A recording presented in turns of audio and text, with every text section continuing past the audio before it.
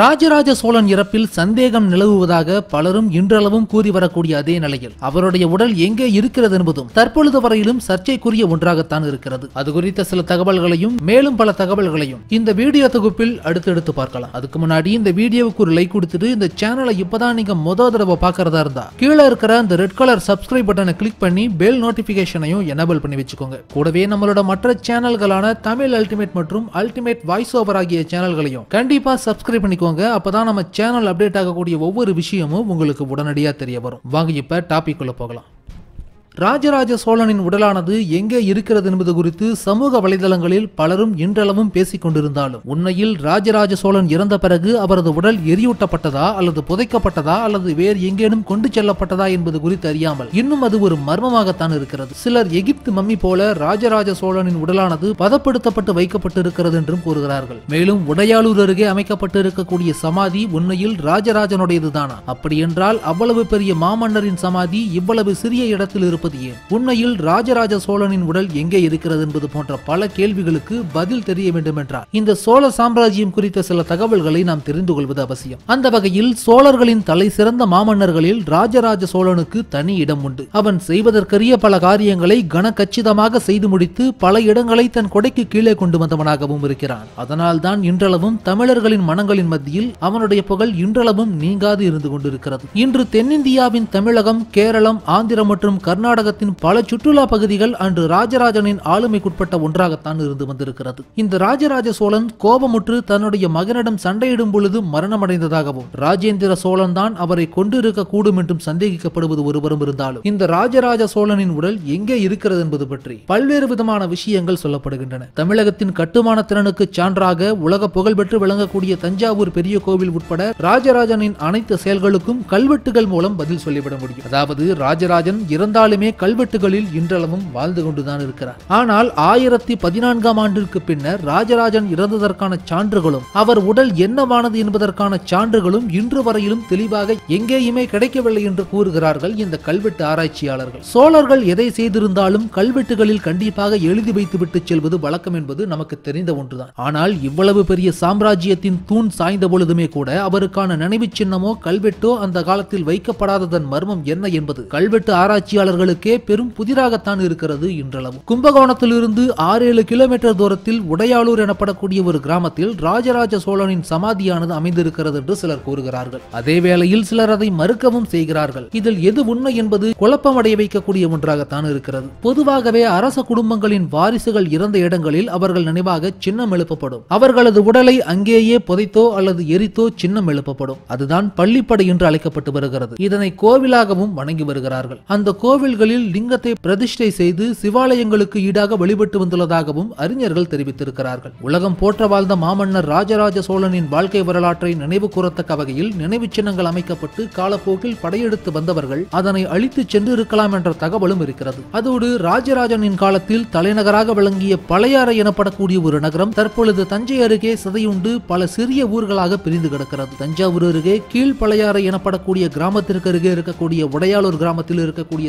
சமாதியானது ராஜராஜனுடையதுதான் என்று பலரும் இன்றளவும் கூறி வந்தாலும் அதற்கான சான்றுகள் எதுவும் இல்லை என்பதே இன்று வரையிலும் நிதர்சனமான உண்மை. இதே ஊரில் இடிபாடுகளுடன் சிவன் கோவில் ஒன்றும் இருக்கிறது. அது பலர் அறியாத ஒரு சுற்றுலா தலமாகவும் இருக்கிறது. தஞ்சை அருகே இருக்கக்கூடிய முடிகுண்டான் ஆற்றங்கரை எனப்படக்கூடிய ஒரு கிராமத்தில் சோழ பரம்பரையின் முறைப்படி கட்டப்பட்ட பல கோவில்கள் இன்றளவும் இடிபாடுகளுடன் காட்சியளிக்கின்றன. இந்த ஊரில் இருக்கக்கூடிய பால்குளத்தம்மன் கோவிலின் முன் அமைக்கப்பட்டு இருக்கக்கூடிய இரண்டு தூண்கள் அந்த இடிபாட்டு சிவன் கோவிலில் இருந்து எடுக்கப்பட்ட கற்களை கொண்டு கட்டப்பட்டதுதான். இதில் உள்ள கல்வெட்டு ஒரு செய்தியை உலகுக்கு உறக்கச் சொல்கிறது. முதலாம் குலோத்துங்க சோழனின் ஆட்சி காலத்தில் சிவபாத சோழமங்கலத்தின் கோவில் ஒன்றில் அதாவது சிவபாத சோழமங்கலம் என்ற ஊர் பெயரில் இருக்கக்கூடிய கோவில் ஒன்றில் ராஜராஜ சோழனின் நினைவு சின்னம் இருந்ததாக கூறப்பட்டிருக்கிறது. ஆனால் அவரின் சமாதி இருந்ததற்கான ஆதாரம் என்று எதுவுமே இல்லை. இதுதான் தற்பொழுது வரையிலும் ராஜராஜ சோழனின் சமாதி பற்றி சொல்லப்பட்டு வரக்கூடிய பல்வேறு விதமான தகவல்கள். உண்மையில் அவருடைய உண்மையான சமாதி எங்கே இருக்கிறது? அவர் உண்மையில் எரியூட்டப்பட்டு தான் விட்டாரா? இல்லை புதைக்கப்பட்டாரா என்பதும் இன்று வரையிலும் யார் யாரும் அறிந்திடாத ஒரு மர்மமாகத்தான் இருக்கிறது.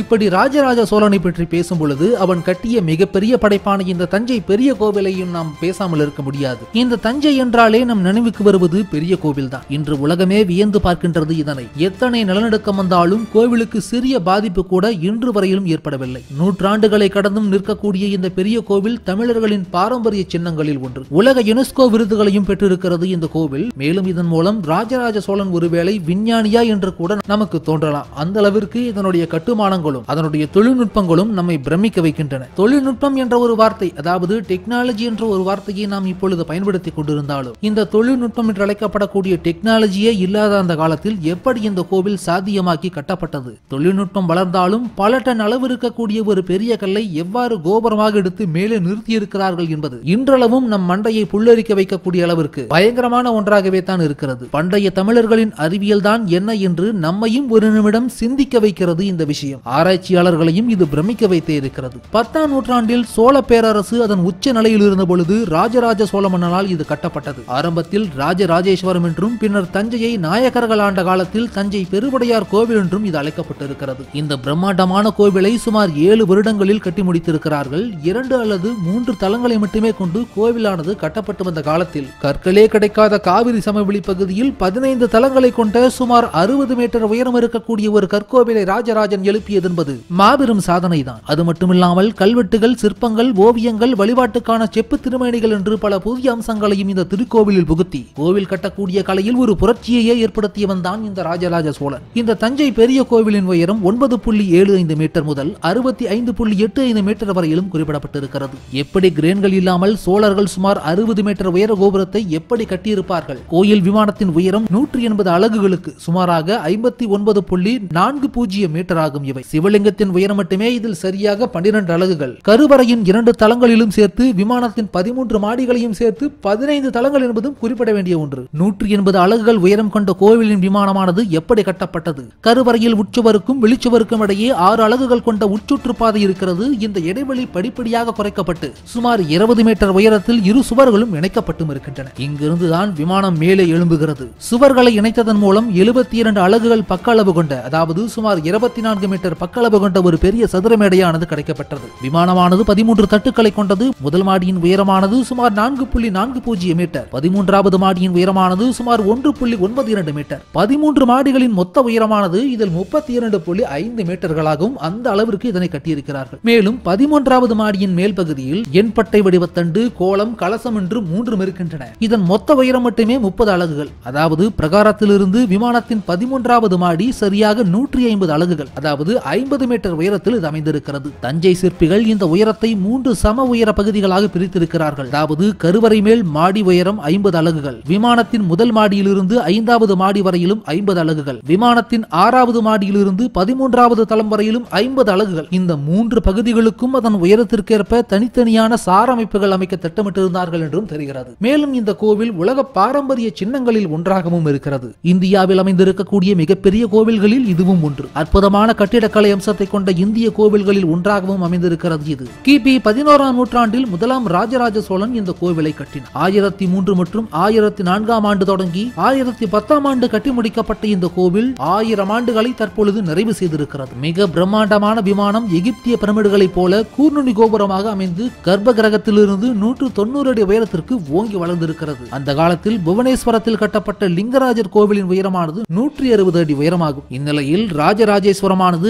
அதனையும் மிஞ்சிவிட்டதாகவே குறிப்பிடப்படுகிறது. இதில் ஆக்சில் எனப்படக்கூடிய துணை சார்ந்த மண்டபங்களும் விமானமும் அர்த்த மண்டபமும் மகா மண்டபமும் பெரிய நந்தியும் அவற்றிற்கேற்ப பொருத்தமான அளவுகளுடைய ஒரு சுற்றுச்சுவர்களுக்குள் அடங்கி இருக்கின்றன இந்த சுவரில் கிழக்கே ஒரு கோபுரம் இருக்கிறது. மதிலை ஒட்டி உட்பக்கமாக பல தூண்கள் உள்ள ஒரு நீண்ட மண்டபமும் செல்கிறது. இது முப்பத்தி ஐந்து உட்கோவில்களை இணைக்கிறது. நான்கு திக்குகளிலும் பல இடைவெளிகளுக்கு நடுவே கேந்திரமாக இருக்கக்கூடிய இடங்களில் இந்த உட்கோவில்கள் கட்டப்பட்டிருக்கின்றன. இரண்டாவது வெளிப்பிரகாரத்தின் வாயிலாக இருந்த இந்த இடத்தில் முன்பக்கத்தில் இரண்டாவது கோபுரமானது அமைந்திருக்கிறது. எகிப்திய பிரமிடுகளின் கட்டுமான முறைக்கும் தஞ்சை மற்றும் கங்கை கொண்ட சோழபுர கோவில்களின் கட்டுமான முறைக்கும் ஒற்றுமை இருப்பதாகவே ஆய்வாளர்களும் கூறுகிறார்கள். ஏனென்றால் இரண்டிலுமே தேர்ந்தெடுக்கப்பட்ட கற்களை அடுக்கியும் கோர்த்தும் வைத்தே கட்டப்பட்டிருக்கிறது. இரண்டிலுமே கோள்களின் கதிர்வீச்சுகள் அதன் மையப்பகுதியில் குவியுமாறுதான் வடிவமைக்கப்பட்டும் இருக்கிறது. புவி அதிர்வுகளினால் பாதிப்புகள் ஏற்படுவதில்லை. கதிர்வீச்சுகளின் குவியலில் பாதுகாக்கப்பட்ட அரசர்களின் உடல்கள் கெடுவதும் இல்லை அதுபோல சோழ கோவில்களில் நிலைநிறுத்தப்பட்டு இருக்கக்கூடிய ஆவுடைய லிங்கங்கள் தொடர்ந்து சக்தி சக்தி இருக்கக்கூடிய மையமாக புகழுடைய கோவில்களாக சிறந்து விளங்குகின்றன. இந்த தஞ்சை பெரிய கோவில் ஆயிரம் ஆண்டை கடந்து நின்றதாலும் அதன் தொழில்நுட்பமும் மர்ம முடிச்சுகளும் ஆச்சரியம் அளிக்கக்கூடிய வகையில் தான் இருக்கிறது. பிரமிடுகளைப் போல கதிர்வீச்சுகளை கிரகிக்கும் தொழில்நுட்பத்தை தமிழன் கண்டிருக்கிறான் என்பதை நினைக்கும் பொழுதே உங்கள் அனைவருக்குள்ளும் ஒரு பெருமிதம் கண்டிப்பாக எட்டி பார்க்கும். மேலும் இது போன்று பல்வேறு விதமான செய்திகளையும் தகவல்களையும் நீங்கள் உடனுக்குடன் தெரிந்து கொள்ள விரும்பினால் நமது நியூ அல்டிமேட் சேனலையும் நம்முடைய மற்ற சேனல்களான தமிழ் அல்டிமேட் மற்றும் அல்டிமேட் வாய்ஸ் ஓவர் ஆகிய சேனல்களையும் சென்று கண்டிப்பாக சப்ஸ்கிரைப் செய்து கொள்ளுங்கள்.